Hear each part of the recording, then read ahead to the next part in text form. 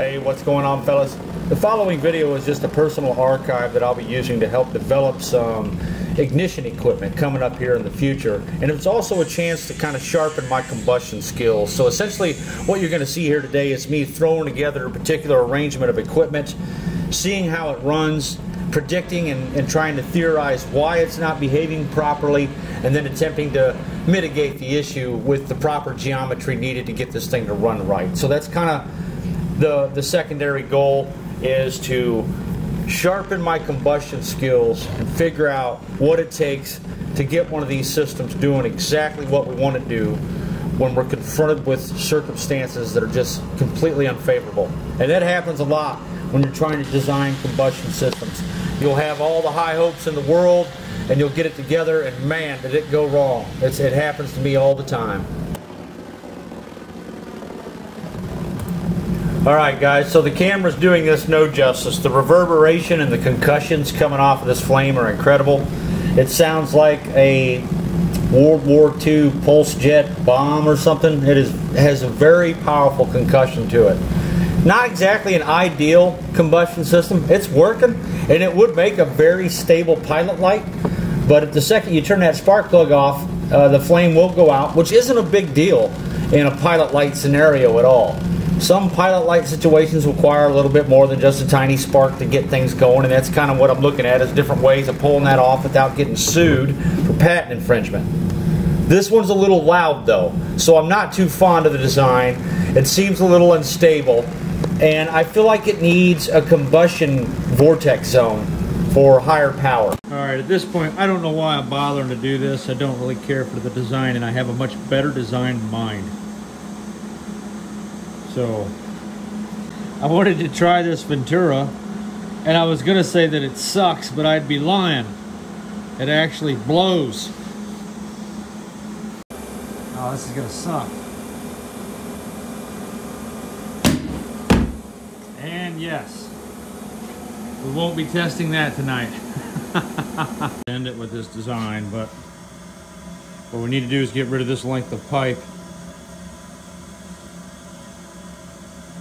There's too much explosion going on back in here. And it's causing the whole thing to explode and fly all the way back into here.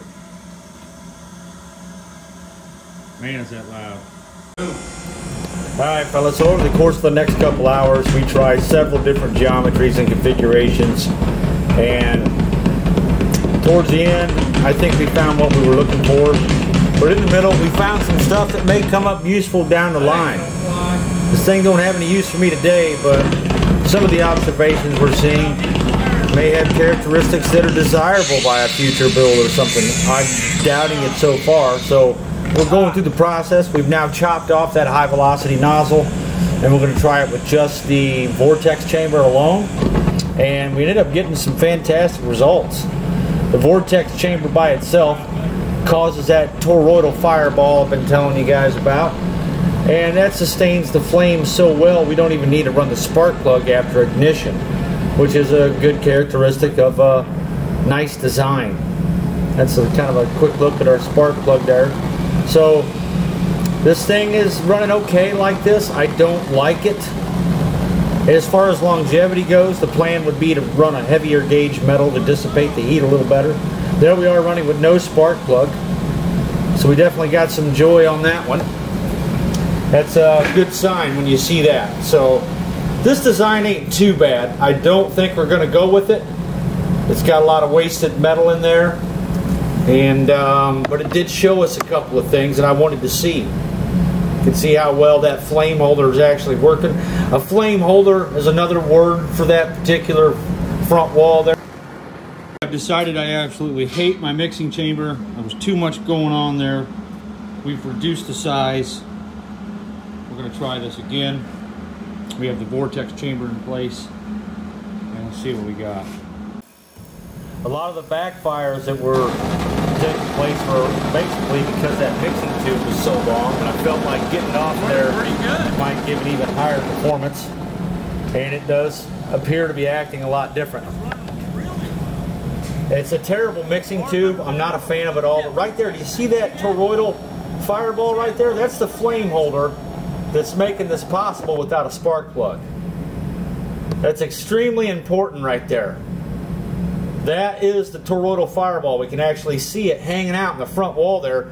And that's the important thing to note there. Notice that it's living in the front of the chamber. Get about 20 meters per second there. All right, so now we're doing this nozzle here. Not a fan of this nozzle at all. Uh, but we had to check it out. This thing hits so hard it's like getting punched in the chest. Some serious machine gunning going on with this thing. And it would make a tremendously powerful pilot light for certain applications. I mean, you ain't blowing this thing out. It is so powerful. But it's not exactly what I have in mind. I feel like we could do a lot better than this. Can't really get anything stable out of it. But in the end, some of these pilot lights have to travel through at least, you know, nine inches per fracture sometimes. So This I've thing's got to like a have that friggin' long machine pipe in gun. there, and I got to see how it works.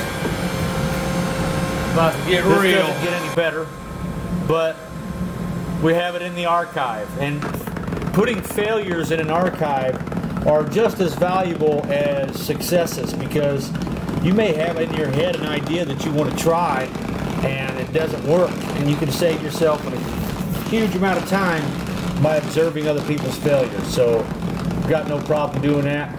And again, this thing's making a powerful little device. It's just not suitable for what I want. I don't like the shotgun machine gun action. This thing is freaking loud. It would serve as a pilot light, just not the type I have in mind. Pretty interesting little creation though nonetheless. Just don't have any use for now. It would blow dust out of certain areas because the reverberation off this thing now, posting research failures is just as important as posting your successes, in my opinion, because some of us have some ideas in mind that we want to try. And if we're able to look at something similar that someone has done, it saves us a lot of time. There are plenty of things that didn't work here.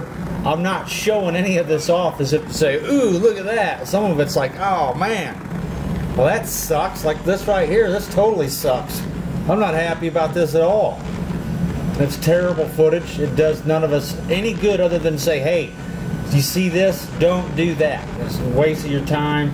All right, so we're back. That took a while. We shut down that monstrosity. It's pretty cool. It's actually really violent. It is as loud as a gun, a machine gun. I don't want the cops here.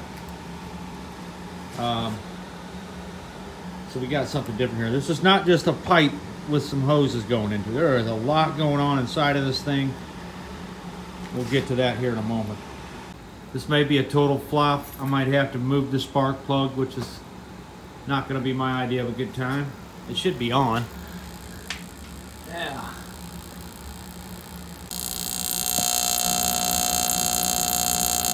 I don't know if you can see anything that's going on in there, but And it's a flop. Total flop. Nothing. I know what has to be done to fix it. It ain't going to be easy.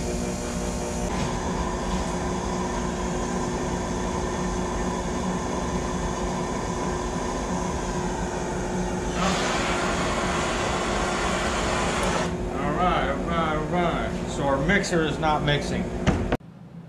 Essentially, this is what has just happened.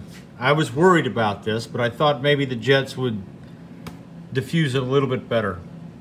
I was hoping for a flame wall back here and all that good stuff, but I'm 99.9% sure this is the reason for no joy. This is kind of what we got going on here. There's a back wall on this. No air is allowed to go through the back wall. And the holes are about a quarter inch. So that's kind of what the inside of this thing looks like. And the air is just blowing straight to it. We need a flame wall right here. We do get that. So now the fix is pretty simple. We're now just gonna bring the fuel. We drill a hole in the side of the unit and put a fuel rod at a tangent. So now we're gonna spin the fuel for joy. Spin your fuel. We have redirected the fuel input. I'm really not all that excited about this design. I think I need a flame wall in the front of this thing and I don't have one. This is just straight bore.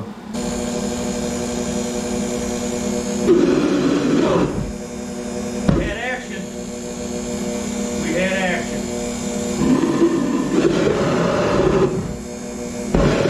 Needs a flame wall.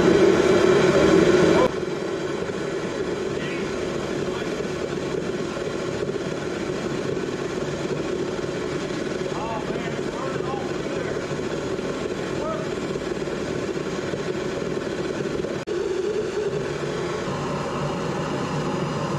That is so awesome, guys. Dang it, too much light. Oh man, it's burning all through there. It worked.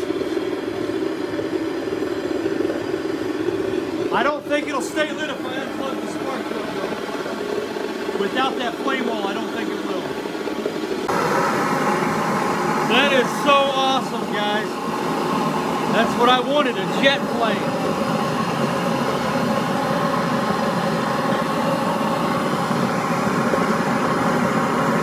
I'm gonna unplug the spark plug and see if it stays lit. It's probably gonna go out. All right, guys, the spark plug is unplugged.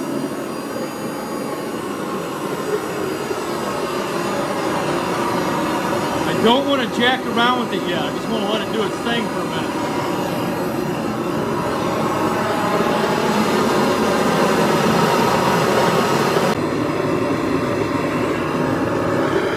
Whoa. What just happened?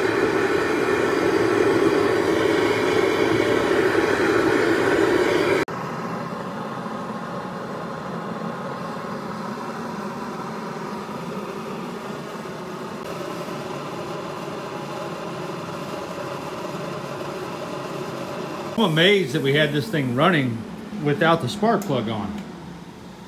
And um, all I did was change the way the fuel was injected into the device. So we went from not being able to light at all to being able to run without the spark plug entirely. But see if I know what the hell I'm doing. We now have the firewall that I insisted on from the get-go.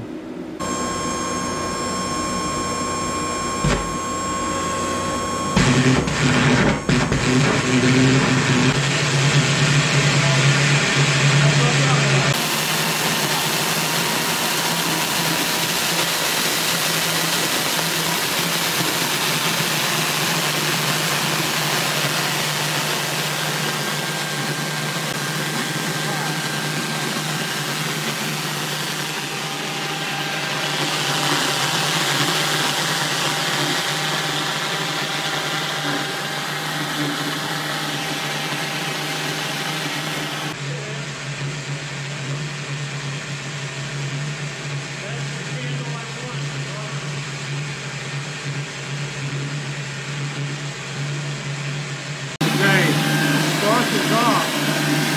So it's self-sustaining. It's too loud, man. It's like midnight. I'm waking people up.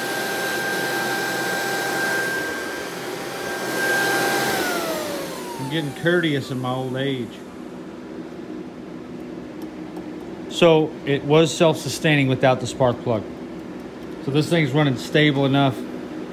I guess the question now is, how far can we shoot a flame up a tube if we were to use this specific design for a high-powered pilot light? All right, we're done with this project for the day. Well, it's yesterday now, but yet it's tomorrow. All right, fellas, we got to call it a day, man. I've got orders piled to the sky. I got to start getting some stuff done. Um, not getting paid for any of this yet. We've got a couple of jobs coming up that are going to require some pretty intuitive understanding of what's going on. So we're just trying to see how hard I'm hitting today.